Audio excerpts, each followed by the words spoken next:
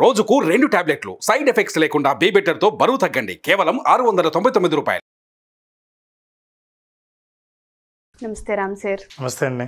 చాలా మందికి negative positive రెండు ఉంటూ ఉంటాయి. ఎస్పెషల్లీ యాటిట్యూడ్ విషయానికి వస్తే సపరేట్ జోనర్ అని మనం మాట్లాడుకోవచ్చు. మనం ఎప్పుడైతే మన దగ్గర అన్ని సౌకర్యాలు ఉంటూ ఉంటాయో మనం అన్నిట్లో వెల్ అని అనిపించుకుంటూ ఉంటామో అప్పుడు మన యాటిట్యూడ్ తెలియకుండానే చాలా బాగుంటూ ఉంటుంది. ఎప్పుడైతే మనం ఫెయిల్యూర్లోకి వెళ్ళిపోతూ ఉంటూ ఉంటామో అప్పుడు వచ్చే యాటిట్యూడ్ కొన్నిసార్లు నష్టం కలిగిస్తుంది కొన్నిసార్లు అవతల వారిని ఇబ్బంది పెడుతూ ఉంటూ ఉంటుంది. ఎస్పెషల్లీ ఉమెన్స్ విషయానికి వస్తే ఫెయిల్ అయినప్పుడు లైఫ్లో కానివ్వండి మ్యారిటల్లో కానివ్వండి కెరియర్లో కానివ్వండి ఎగ్జామ్స్లో కానివ్వండి ఇంకేదైనా సరే ఇక్కడ మనం ఫెయిల్యూర్ అని అన్నప్పుడు వాళ్ళ యాటిట్యూడ్ అసలు ఏ విధంగా ఉండాలి? ఒక యాటిట్యూడ్ ఒక మనిషిని ఏ విధంగా సమాజానికి ప్రొజెక్ట్ చేస్తుంది అంటారు? సో దీనికి సంబంధించి అసలు మనం ఏం మాట్లాడొచ్చు సార్ మన ప్రకృతిలో చలికాలం ఏం చేస్తుందంటే ఈ భూమిని చలితో దంచేద్దామని వస్తుంది. వచ్చిన తర్వాత మళ్ళీ ఎండాకాలం రాక తప్పదు. చలికాలం ఓడిపోయి ఎండాకాలం గెలుస్తుంది. ఎండ ఏం చేస్తుందంటే ఈ ఎండ అవసరం సూర్యకాంతి భూమికి ప్రకృతిలో అవసరం అని ఎండలతో వాయించేద్దామని వస్తుంది.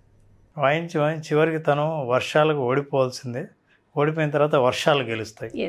ప్రకృతిలో జయాలు అపజయాలు అంటూ ఏం లేవు. కేవలం కాలగమనాలే. స్త్రీని ప్రకృతితో పోలుస్తారు కాబట్టి జయాలు అపజయాల కంటే కేవలం దీస్ ఆర్ ద మూమెంట్స్ అని అంటాడు పౌలో కొయిలో అనే ఒక ప్రముఖ రచయిత. There are no success and no failures. There are only moments in the nature so అట్లాగే మనము ఎలా నిర్వచిస్తున్నాం ఫెయిల్యూర్ అనే దాన్ని బట్టి ఆధారపడి. అసలు మనం ఫెయిల్యూర్ అనే అంటామా? లేదా దీన్ని అవకాశం అంటామా? లేదా ఇది డెత్ అన్నంత ఘోరంగా మనం దీన్ని చూస్తామా? లేదా ఈ ఫెయిల్యూర్ రావటం వల్లే నాలో గొప్ప మార్పు జరిగిందనేది చూస్తామా? అన్నది ఎలా చూస్తాం అన్నది చాలా ఇంపార్టెంట్ దృష్టికోణాన్ని బట్టి మారుతుంది ఆ దృష్టికోణంలోనే అది ఎంత భయంకరమైంది ఎంత హాస్యాస్పదమైంది ఎంత ఆనందకరమైంది అనేది కూడా మనకు తెలుస్తుంది. ఎగ్జాక్ట్లీ ఇది అన్ని రకాల భావాలని మనం చూడడం బట్టే ఉంటుంది. అందుకే అంటారు there are no failures there are only feedbacks failures are nothing but delayed success. అపజయాలు అనేవి ఆలస్యంగా వచ్చిన విజయాలు తప్ప అపజయాలంటూ లేవు. విజయాల్ని ఆలస్యం చేశాం. There is a postponed success is a failure ఇప్పుడు సక్సెస్ అవుదాం అనుకున్నారు ఫెయిల్ అయ్యారు తర్వాత సక్సీడ్ అవుతారు. ట్రూ మనం ఎలా చూస్తామన్నది చాలా ఇంపార్టెంట్ ఏమంటే అన్నీ బాగా జరుగుతుంటే జీవితంలో మాట వినే భర్త బాగా చదివే పిల్లలు అసలు అత్తామామ లేకపోతే ఇంకా ఆనందం ఉంటే మనల్ని ఏమీ ఇబ్బంది పెట్టని అత్తామామలు. లేదా భర్తకు ఆఫీస్లోకి వెళ్తే తన మాట వినే బాసు. అసలు ట్రాఫిక్కే లేని రోడ్లు. ఇవన్నీ బాగున్న వ్యక్తి చాలా పాజిటివ్గా ఆలోచిస్తూ పాజిటివ్ యాటిట్యూడ్ ఉండడం పెద్ద గొప్ప విషయం ఏం కాదు. యా అవును సార్. అసలు మనకు యాటిట్యూడ్ అనే పదం ఎప్పుడు వస్తుందంటే మన ఫెయిల్యూర్లో ఉన్నప్పుడో బాధల్లో ఉన్నప్పుడో వెనకబడి ఉన్నప్పుడో మనం అనుకున్నవి జీవితంలో జరుగుతూ జరగ జరగనప్పుడో మనం అప్పుడు యాటిట్యూడ్ గురించి మాట్లాడతాం పాజిటివ్ యాటిట్యూడ్ అనేది అప్పుడు అవసరం కానీ మనకు రోజు బాగా ఉన్నప్పుడు పరిస్థితులు అప్పుడు పాజిటివ్ యాటిట్యూడ్ అక్కర్లేదు. సో అందుకే ముఖ్యంగా విమెన్ పాజిటివ్ యాటిట్యూడ్ చూపించే సందర్భాలు చాలా ఉన్నాయండి. జేకే రౌలింగ్ అందరు పేరు వినే ఉంటారు. చాలా ఫేమస్ రచయిత్రి. ఆవిడ రాసిన పుస్తకాలు కథతో ప్రపంచంలో చాలామంది పబ్లిషర్స్ దగ్గరికి పోతే గడప తొక్కనీయకుండానే అందరూ ఫెయిల్ ఫెయిల్ చేశారు. ఏ ఈ కథ ఏంటి అందరూ? అని నవ్వారు. నవ్వితే ఎన్ని రిజెక్షన్స్ అంటే ఆవిడ ఆ కథనే పట్టుకుని తిరిగింది. ప్రతి చోట ఫెయిల్యూరే. ఈ ఫెయిల్యూర్ ఫెయిల్యూర్ అవుతుంటే ఈ ఎందుకు అంత పబ్లిష్ చేయడానికే ఈ అందరూ ఫెయిల్ అవుతున్నారు. దీన్ని విజువలైజ్ చేసి దీన్ని కొత్తగా విజువలైజ్డ్గా ఈ స్టోరీని ఎందుకు చూడకూడదు అని ఆవిడ యాటిట్యూడ్ మారింది. ఆవిడ అప్రోచ్ మారింది.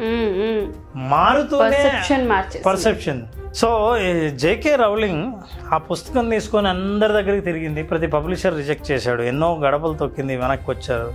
ఈ ఫెయిల్యూర్ని తను బా ఇంకెవరు ఇది నచ్చట్లేదు అని పక్కన పడేసి ఉంటే ఇవాళ మనకి హ్యారీ పాటర్ అనే కథ పరిచయం అయి ఉండేది కాదు. హ్యారీ పాటర్ ద్వారా ఆవిడ బహుశా వెంటనే ఎవరైనా పుస్తకం పబ్లిష్ చేయడానికి యాక్సెప్ట్ చేసి ఉంటే ఈ ప్రపంచానికి కూడా అంత గొప్ప పుస్తకం తెలిసి ఉండేది తెలిసి ఉండేది కాదు. అది కేవలం పుస్తకంగా ఎక్కడో చోటు ఉండేదేమో. ఇవాళ five thousand millions of books అన్నీ అమ్ముడుపోయాయి. సో ఇన్ని పుస్తకాలే కాదు కోటీశ్వరరాలు అయింది ఆవిడ. ఒక్క పుస్తకంతో that is because of attitude ఎందుకంటే నమ్మింది నా పుస్తకం ఎంతమంది రిజెక్ట్ చేసినా సరే నా పుస్తకంకి ఖచ్చితంగా కమర్షియల్ వాల్యూ ఉంది. దీన్ని ప్రపంచంలో చాలామంది ముఖ్యంగా పిల్లలు డెఫినెట్గా ఇష్టపడతారని. తన మీద తనకు నమ్మకం లేకపోతే ఈ పాజిటివ్ యాటిట్యూడ్ రాదు. కొంత ఫలితం నెగిటివ్గా వస్తూనే వదిలేశారనుకోండి. See how you behave also is very important for example మీకు ఫ్యాషన్ షోలో ఫ్యాషన్ షోలో నడుస్తూ వెళ్తుంటే ఒక్కోసారి కాలు పొరపాటున అవుతుంది. స్లిప్ అయిపోయి కింద పడిపోతారు. కింద పడిపోతే కింద పడిపోయినా ఒక్కోసారి వాళ్ళు వేసుకున్న డ్రెస్ కూడా సరిగ్గా బిగించక ఎందుకంటే ఈ ఫ్యాషన్ డిజైనర్స్ ఆ వాక్కి ముందే అవి పిన్నులు పెట్టి అటాచ్ చేస్తుంటారు. ఏ పిన్నో ఊడిపోయి కింద పడిపోతుంది. దీన్నే మనం వార్డ్రోబ్ మాల్ ఫంక్షన్ అంటుంటాం వార్డ్రోబ్ మాల్ ఫంక్షన్ అంటుంటాం. ఒక్కోసారి ఆ సరిగ్గా బిగించక లేదా కాలు స్లిప్ అయ్యి కింద పడిపోతారు. కింద పడిపోయినప్పుడు మీరు ఎలా లేస్తారు అన్నది ఇంపార్టెంట్. చాలా ఫ్యాషన్ షోలో చాలా మంది మాట్లాడుకునే వాళ్ళు బాగా నడిచి వెళ్ళిన వ్యక్తుల గురించి ఎవరు మాట్లాడుకోరు. కింద పడినా సరే పడ్డానన్న ఆ డౌట్ కానీ వాళ్ళ మీద అరే పడితే అందరు నవ్వుతారేమో అని సిగ్గుపడ్డం కానీ ఏమీ ఆ ఇన్సెక్యూరిటీ లేకుండా కాన్ఫిడెంట్గా లేచి మళ్ళీ అదే స్టైల్ని చూపించి ఆ స్టైల్తో వాక్ నడుచుకుంటూ వెళ్తారు చూసారా? దట్ ఈజ్ యాక్చువల్ యాటిట్యూడ్ ఈ యాటిట్యూడ్కి మార్కులు పడతాయి. సో ఇట్లాంటి యాటిట్యూడ్ మన లైఫ్లో ఫెయిల్యూర్ లేని వాళ్ళు ఎవరున్నారండి ప్రతి ఒక్కరికి ఫెయిల్యూర్ ఉంటుంది. కానీ మీ స్టోరీ స్టోరీ కాదు. ఫెయిల్యూర్ నుంచి మళ్ళీ మీరు రికవర్ కాకపోతే అది స్టోరీ కాదు. ఎవరో రచయిత చెప్పినట్టు నాకు సముద్రపు అలలు అంటే ఇష్టం. ఎందుకంటే అవి ఎగిసి పడుతున్నందుకు కాదు పడి మళ్ళీ తిరిగి లేస్తున్నందుకు నాకు ఇష్టం అని. సో మనం తిరిగి ఎలా లేస్తాం అన్నది చాలా ఇంపార్టెంట్. మనకు ఎత్తైన జలపాతాలు ఎందుకు అందంగా ఉంటాయంటే పైనుంచి ఎంత అందంగా పడాలో చెప్పడం ఎన్న జలపాతాలు. అంటే ఫెయిల్యూర్లో కూడా మనం పడిపోతున్నప్పుడు ఎంత అందంగా పడుతున్నాం అని. అది అది మీరు చూసే యాటిట్యూడ్. అలా కాదండి ఇంక అయిపోయింది జీవితం అని మీరు అనుకుంటే there is nothing that you can improve నిజంగా ఈ ఫెయిల్యూర్ నుంచి ఎవరైనా బయటపడాలని అనుకున్నా నేను మళ్ళీ ఎస్ మనకి ఇప్పుడు అర్థమైంది యాటిట్యూడ్ ఈ యాటిట్యూడ్ నుంచి ఎలా బయటపడాలో తెలుసుకోవాలని ఉంది. నెంబర్ వన్ ఫెయిల్యూర్కి రీజన్ తెలుసుకోండి. ఓకే. అంటే రీజన్ తెలుసుకోండి అంటే ఏం లేదండి రీజన్ నేను కాదు పలానా వాళ్ళు.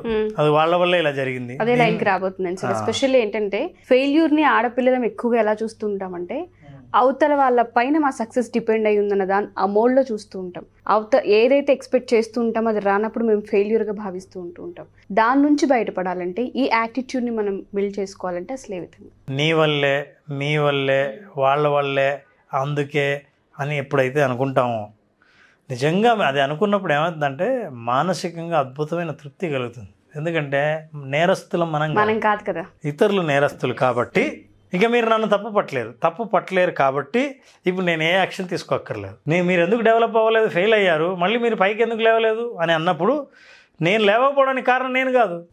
ఓహో వాళ్ళ? అని అప్పుడు ఫోకస్ అంతా వాళ్ళ మీద షిఫ్ట్ చేస్తారు కాబట్టి మీరు సైలెంట్గా ఉండొచ్చు. ఒకవేళ ఇలా సైలెంట్గా ఉండాలనుకుంటే ఇతరులను బ్లేమ్ చేయండి. Blame or bloom. వికసించాలా? నిందించాలా? నిందిస్తే వికసించరు. వికసించాలనుకుంటే నిందించడం so bloom or blame. So if you if you blame you will never bloom you want bloom stop blaming కారణం వేరే వాళ్ళే మళ్ళీ నేనేం మీరేం చెప్పట్లా? ఇతరులైనా సరే ఆ కారణాన్ని మర్చిపోయి ఇప్పుడు దీని నుంచి బయటపడడం ఎలా? దట్ ఈస్ ఇంపార్టెంట్ యాక్సిడెంట్ అయ్యింది. యాక్సిడెంట్ అయితే ఎవరు కారణం ఎవరు కారణం ఎవరి వల్ల ఎవరు? ఇది అనవసరం. ఇప్పుడు ముఖ్యంగా మీరు వెంటనే హాస్పిటల్కి వెళ్ళాలి. మీరు బతికుండాలంటే వెంటనే మీరు మీకు వైద్యం జరగాలి. దట్ ఈజ్ ఇంపార్టెంట్ సో ఎవరు రీజనో చెప్తే మనం సాటిస్ఫై అవుతాం తప్ప develop అవ్వం. That is one number two you have to identify your strengths మీకున్న బలాలు ఏంటో చూడండి. బలం ఎలా ఉండాలంటే ఎదుటి వాళ్ళ వల్ల మీరు ఎట్లయితే ఫెయిల్ అయ్యారో ఈ ఫెయిల్ని దాటి ఈ ఫెయిల్ని మించి మీ బలం మీకు మళ్ళీ సక్సెస్ అందించేంత బలం ఉండాలి. అట్లాంటి బలాన్ని మనం మీరు గుర్తించాలి. సి దేవుడితో మీరు ఎన్ని కష్టాలు పడ్డారో చెప్పకండి.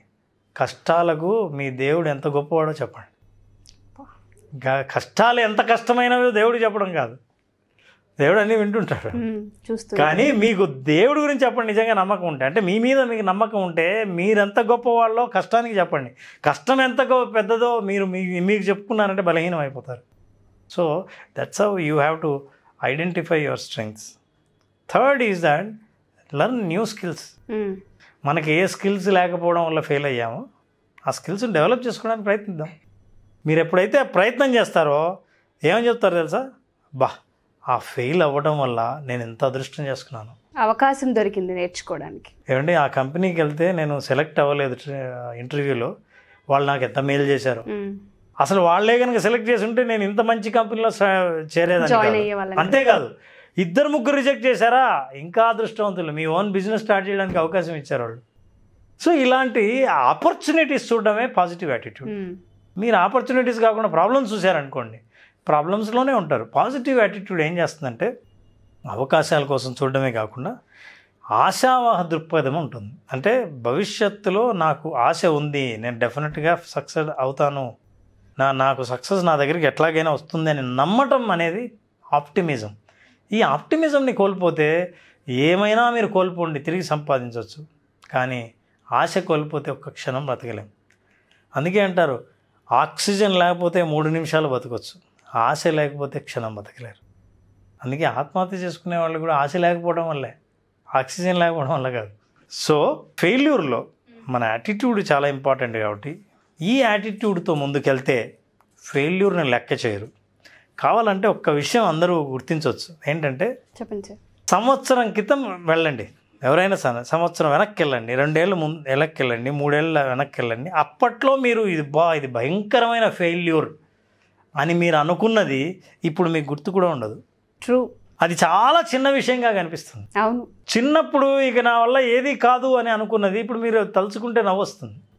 కాలం అంత గొప్పగా మారి మీ జీవితంలో ఇన్ని మార్పులు తీసుకొస్తుందని నమ్మితే డెఫినెట్గా మీ ఫెయిల్యూర్ మీ అభివృద్ధికే దారితీస్తుంది. Failure becomes feedback. బా no words Ram sir.